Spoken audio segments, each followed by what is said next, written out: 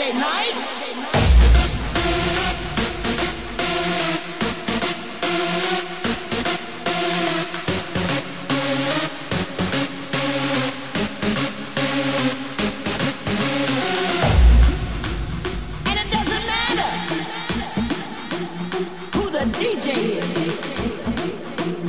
It doesn't matter what the crowd looks like.